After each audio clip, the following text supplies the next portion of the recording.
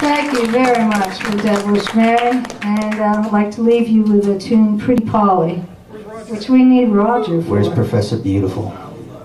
Aging Where is Roger. he? Pretty Roger. Someone has to get Roger. Fetch Roger, please. Someone get Roger out of the bar, please. He's over. He's over the keeper.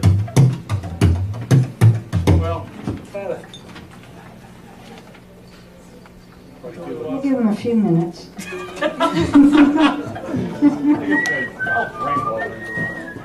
That's funny. Well, this is a true story. Professor, hit the stage. There he is. This is the Western Pennsylvania version. Uh, actually, my version, but this is really a true uh, murder ballad that happened in Fayette County, so just southeast of Pittsburgh, early 1800s. Um, can't remember the guy's name, but he uh, left a woman um, who thought she, he was going to marry her, but she was too poor for him to marry, so he killed her instead. Typical. Typical, yes, I know. but he really killed her, not just mentally. you know.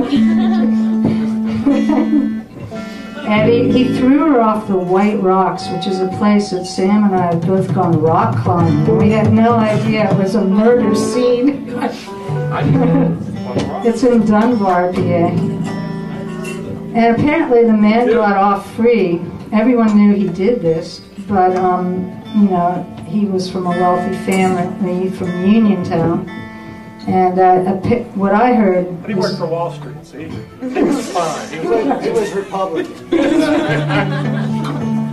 he worked for the Treasury Department. apparently when he walked into a tavern like in 1806, he um, people would start singing this song they had made up about his murder, and they'd sing it to his face. This, this, I read this somewhere. Can we do that now to our leaders? Where's Roger?